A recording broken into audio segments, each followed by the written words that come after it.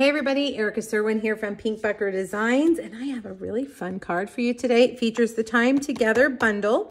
This is the feature bundle on my blog this week, so if you're looking for more ideas, make sure you click the link here on YouTube. Go back, I've got four total projects using this bundle. Um, another thing that I'm using that I have got to point out is this paper back here. The other cards that I made with this bundle were all pinks and purples and feminine cards, but I thought, let's do something a little more masculine. Um, we have a new fall uh, winter catalog coming out on September 6th, and this is one of the packs of paper from that catalog. It's called All About Autumn, and you can see on one side it's got like photographic art images. I, I am in love with this paper. And then on the other side, you've got metallics. These are brilliant. They're beautiful for fall, but also for masculine cards. I just think you could use them in so many ways. And for this card, there are several different patterns. You could use this one. Um, there are two of these um, copper color papers, two different patterns. Um, here's one, and then here's the other. So um, gorgeous paper coming out September 6th. Make sure that you look for it. It's a six by six stack, which is so easy. All right, let's make our focal point first before we get to the paper. Um, I have ahead of time cut out two things. Well, I've cut out several things actually. For the frame, I have cut out a basic white um, Country Corners shade. These are the Country Corners dies, the largest one. Then I took the largest and the second largest and cut out a frame from um, Crumb Cake, okay? So we have that. Um, on the back of the, or in the center of our main basic white piece, I'm gonna take some Lemon Lolly and a blending brush, a, a small blending brush, and I'm gonna run it on my paper here first because I don't want it too dark. And then I'm just gonna start from the center and work my way out. I don't want it to be real powerful. I just kind of want there to be a glow there in the middle. My problem is always I do too much. So I'm gonna stop.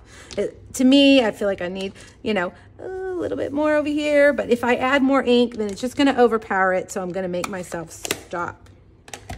Now we're gonna do our stamping. We're gonna stamp our hourglass in Memento Black. And um, this stamp set has some really fun images too for the, the little sand, draining sand in the hourglass. Um, one for the top is a heart, um, but we're gonna use the other one, which is just like, you know, the sand kind of dripping down. And I am using pecan pie. This is one of our new colors and I love it.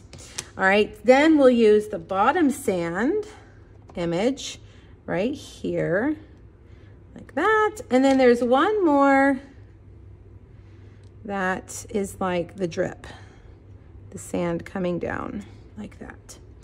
All right, and I'm just gonna take my uh, pecan pie light Stampin' Blend and color in these little wood-based pieces. All right, nothing fancy, no shading or anything like that. I'm just gonna color them in.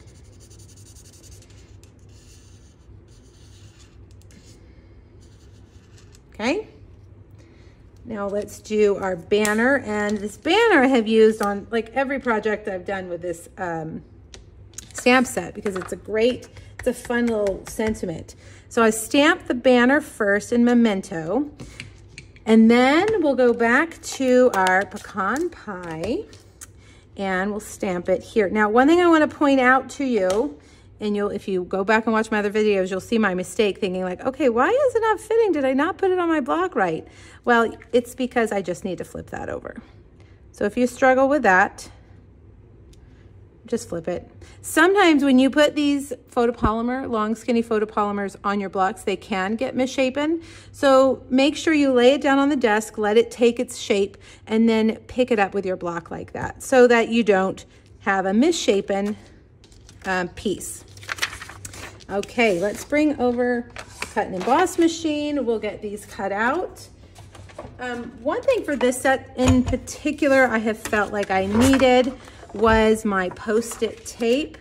Um, the long and skinny banner specifically likes to jump around. So I have some post-it tape. I'll have it linked on my blog. I use it pretty much every day in my crafting. I use it to hold down paper when I am um, inking or using a mask. I use it on my die cut, die cuts. I, it just is very useful and it does not, it does not tear your paper. I think I'm gonna put one here. The more I use my dies, the more kind of curved up they get and I use my dies a lot. So sometimes I need to use a little piece of wash or um, post-it tape there.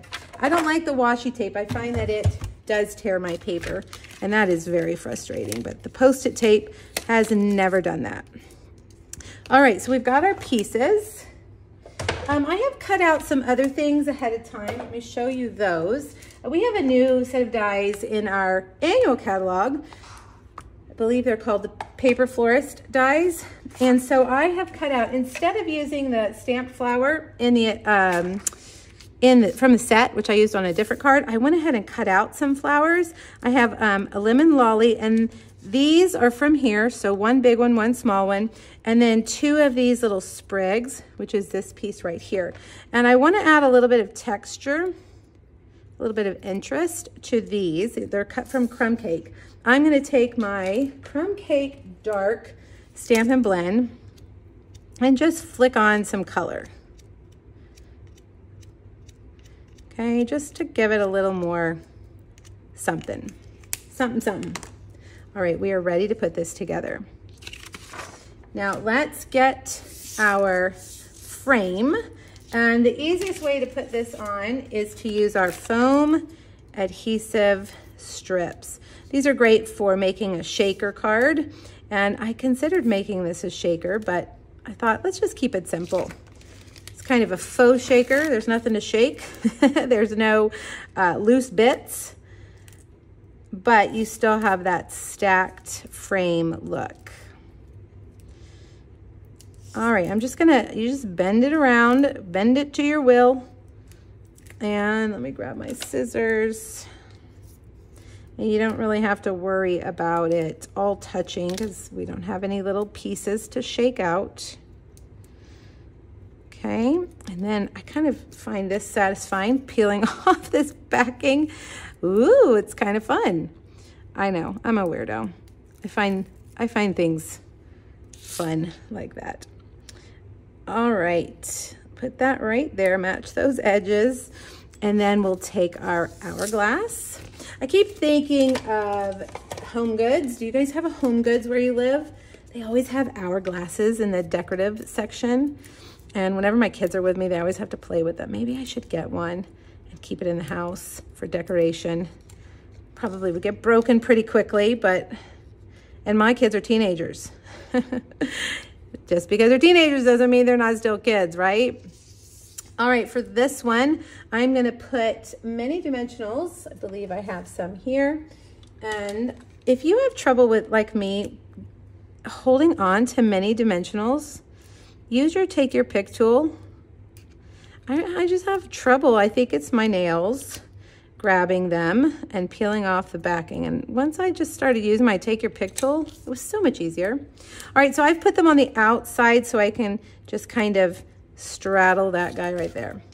All right, now we'll take, let's use glue dots. They're less messy than glue. And I'm gonna take one of these and put it down here. And we'll take another mini glue dot and put it right here. And then we'll take our flowers. And you know, I'm looking at my sample and I bet I used two small, two of the smaller flowers, but I think a big one and a small one will work as well.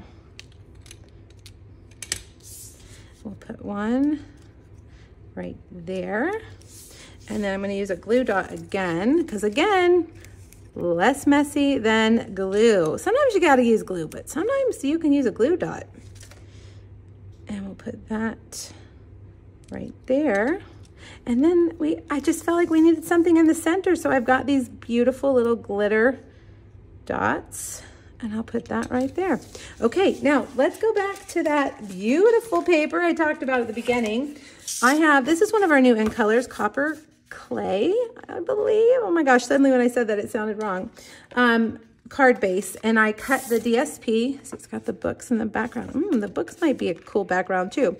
Um, but we're gonna stick with the shimmer, or the glimmer side today. Uh, four by five and a fourth. And we'll put that there. And then I'm just going to put regular uh, Stampin' Seal on this piece because I feel like we already have so much dimension. We don't want to make it too, too big. And there you go. I miss you every minute for every hour. I just feel like this makes a great masculine card. Um, it has a flower on it, but it still feels masculine to me. But again, it has a flower on it, so it could be not masculine. All right, you guys, I hope you enjoyed this card. Click the link here on YouTube, go back to my blog, get the free PDF, check out the other Time Together projects I have, and let me know if you have any questions. I hope you guys have fun stamping. Thanks. Bye-bye.